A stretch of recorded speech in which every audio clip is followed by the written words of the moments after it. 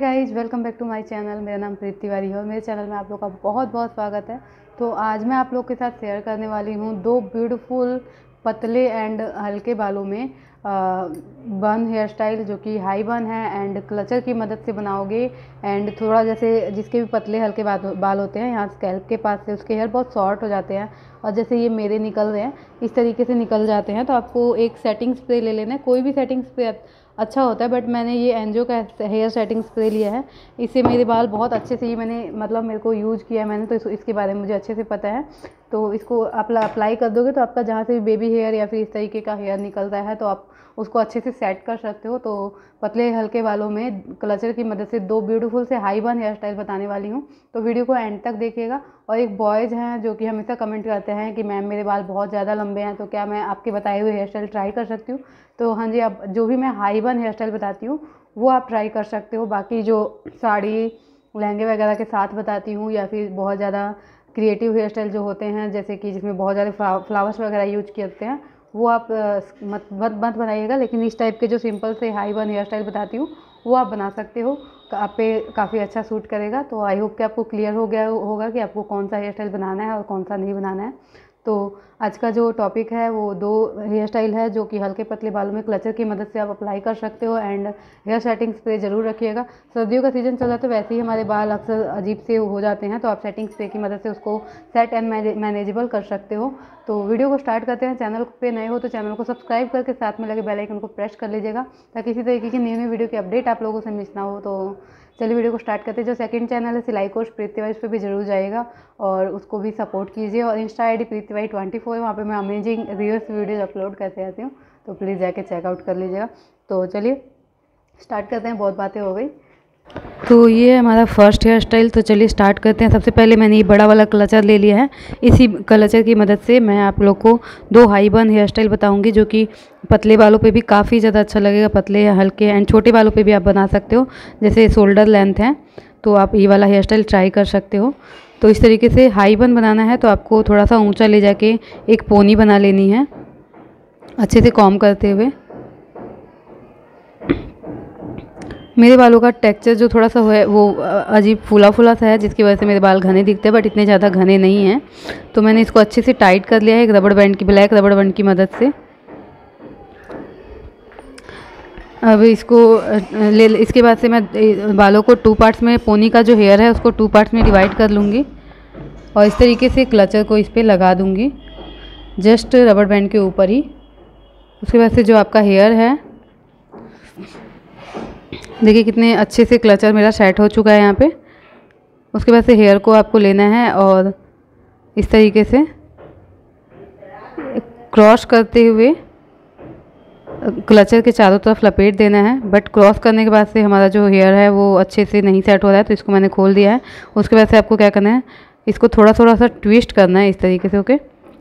Twist करके उसके बाद से आप इसको क्रॉस तो इस तरीके से ट्विस्ट करके आप लगाओगे तो बहुत अच्छे से आपका बन बन जाएगा और बहुत ही स्टाइलिश लगेगा। ये आप लंबे बालों पे भी बना सकते हो एंड छोटे बाल होंगे तो आपका एक बार क्रॉस करते हुए ही ख़त्म हो जाएगा। हेयर वहीं पे आप पिन लगा दीजिएगा और लंबे बाल है तो आप चार, पाँच बार इस तरीके से लपेट लीजिएगा बालों को ताकि आपका बन जो है वो और बड़ा दिखे और छोटे बालों पर भी ट्राई कर सकते हो। तो जो फ़र्स्ट हेयर स्टाइल है वो इस तरीके का लुक आएगा। देखिए काफ़ी अच्छा लग रहा है और बहुत ही अजीब मतलब स्टाइलिश दिख रहा है जिससे कि लुक बहुत अच्छा आया है क्लचर बड़ा सा क्लचर है, बट फिर भी हमारा हेयर स्टाइल छोटे बालों में भी काफ़ी अच्छे से बन गया है। और उसके बाद से मैं थोड़ा थोड़ा हेयर को इस तरीके से खींच ले रही हूँ। और जैसे मेरे बेबी हेयर्स दिख रहे हैं अब इस पर थोड़ा सा सेटिंग स्प्रे अप्लाई कर लीजिएगा। कौन सा सेटिंग स्प्रे है, वो मैं दूसरे हेयर स्टाइल में दिखाऊँगी। तो ये फ़र्स्ट हेयर स्टाइल था, जो कि बहुत ही प्यारा लग रहा था। चलते हैं सेकंड हेयर स्टाइल की तरफ़। तो सेकंड हेयर स्टाइल में भी आपको पहले यही बड़ा वाला क्लचर मैंने यूज़ किया है। एंड इसको भी, सारे बालों को एक हाई पोनी टेल बना लेनी है, अच्छे से कॉम करते हुए। तो सारे बालों को अच्छे से ऊपर की तरफ़ कॉम करूँगी और एक हाई पोनी टेल बना लूँगी। ओके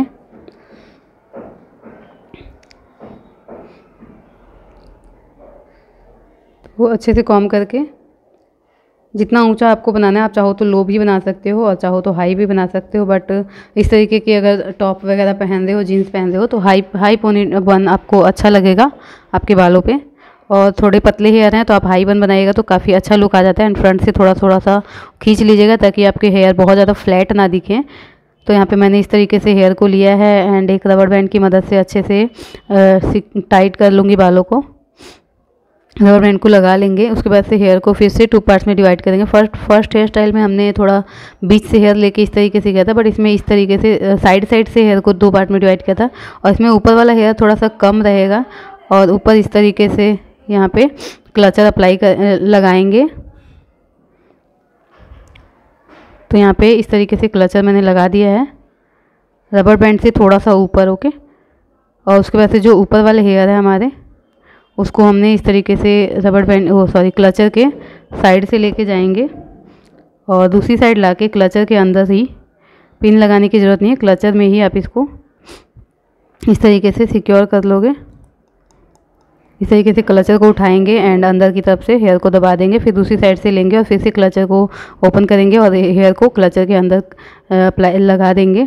उसके बाद से जो आपका हेयर बचा, जिस साइड हमारे हेयर कम है, उस साइड से इसको घुमाते हुए जो आपका हेयर बचा है उन सारे हेयर को इस तरीके से घुमाएँगे, क्योंकि इस साइड हमने क्लचर पे बाल नहीं दिख रहे हैं तो इस साइड से घुमाया है और दूसरी साइड ला के फिर से क्लचर के अंदर ही इस तरीके से इंसर्ट करके और इसको क्लचर को लगा दिया है। तो सिर्फ़ क्लचर की मदद से भी आप ये इस हेयर स्टाइल में पिन लगाने की ज़रूरत नहीं है, लेकिन कहीं से अनमैनेज दिखे तो आप पिन अप्लाई कर सकते हो अपने बालों में। और इस तरीके से सेटिंग्स पे मैंने डायरेक्ट बालों बालों पे अप्लाई कर दिया। आप चाहो तो कॉम पे अप्लाई करके भी आप करोगे तो बहुत अच्छे से आपका हेयर जो है वो सेट हो जाएगा।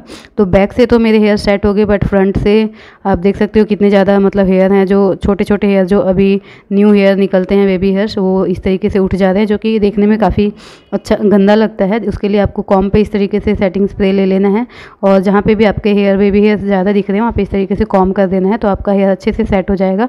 और ऐसा नहीं है कि ये निकल जाता है, ये अच्छे से पूरा सेट रहता है, जब तक आप खुद से अपने बालों को नहीं निकालते हो, और ये सेटिंग स्प्रे भी बहुत अच्छा है। और यहाँ से मेरे हेयर थोड़े से उठे उठे से दिखते हैं तो यहाँ पर मैं एक क्लचर सॉरी, जुड़ा पिन लूँगी। और इस तरीके से हेयर को खींच के जुड़ा पिन लगा दूँगी ताकि मेरे बन का जो लुक है वो बहुत अच्छे से दिखे। तो ये था मेरा setting sorry second one hair style जो कि एक क्लचर की मदद से था। और मेरे हेयर आप देख सकते हो, काफ़ी ज़्यादा अजीब से हैं, झड़ने की, जैसे झड़ने की वजह से फ्रंट से थोड़े से निकल जाते हैं हेयर तो इस तरीके से आपका भी हेयर फॉल होता है, पतले बाल हैं तो आप ये सारे हेयर स्टाइल ट्राई कर सकते हो। अच्छी लगी आप लोग को ये दोनों हेयर स्टाइल आई होप कि अच्छी लगी हो और हेल्पफुल रही हो आप लोगों के लिए। अगर वीडियो अच्छी लगी हो, पसंद आई हो तो वीडियो को लाइक शेयर ज़रूर कर लीजिएगा चैनल को सब्सक्राइब कर लीजिएगा और बेल आइकन पे प्रेस कर लीजिएगा ताकि न्यू न्यू वीडियो की अपडेट मिस ना हो और एंड सेकंड चैनल पे भी ज़रूर जाइए, उस उस चैनल को भी आप लोग के सपोर्ट की बहुत ज़्यादा ज़रूरत है। तो आज के लिए इतना ही, फिर मिलेंगे नेक्स्ट वीडियो के साथ। तब तक अपना ख्याल रखिए और मुझे ऐसे सपोर्ट करते रहिए। Thanks for watching love you all take care bye